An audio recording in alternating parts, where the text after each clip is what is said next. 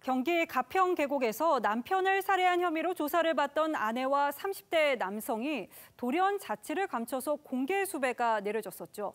이 두 사람이 가평 사건 전에도 수차례 범행을 시도하고 사전에 현장 답사까지 했던 정황이 새롭게 포착됐습니다.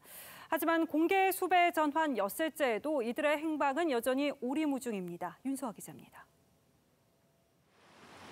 피의자 이은혜와 공범 조연수는 2019년 6월 피해자 목숨을 앗아가기 전 경기도 가평군 용소 계곡을 사전 답사한 것으로 알려졌습니다.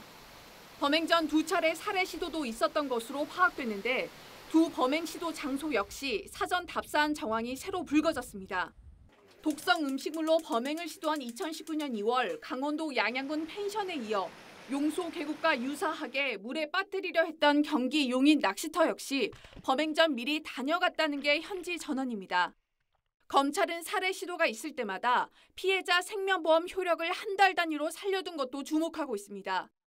월 납입금을 내지 않아 실효된 생명보험을 잠시 되살린 뒤 보험 효력이 유지되는 한 달 동안 범행을 시도해 사전에 치밀하게 계획됐음을 뒷받침하는 정황으로 보고 있는 겁니다. 검찰은 지난해 12월 이들에 대한 1차 소환 조사 이전에 이미 출국 금지 통보를 해둔 것으로 알려졌습니다. 2차 소환에 응하지 않고 잠적한 이들 피의자는 휴대폰을 사용하지 않고 넉 달째 은신 중입니다.